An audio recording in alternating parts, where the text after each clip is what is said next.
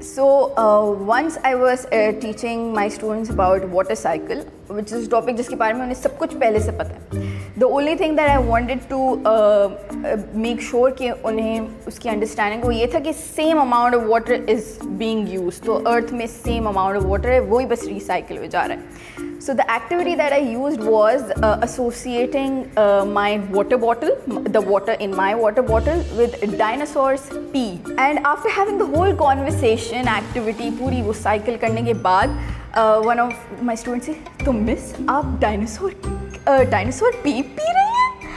I was like, um, yeah. ऐसे सोचे तो maybe the water contents of that maybe yes हम सभी कुछ कुछ ना कुछ ये पी रहे हैं रोज़मर्रा में so everybody had a great laugh about it तो दैट वॉज़ फन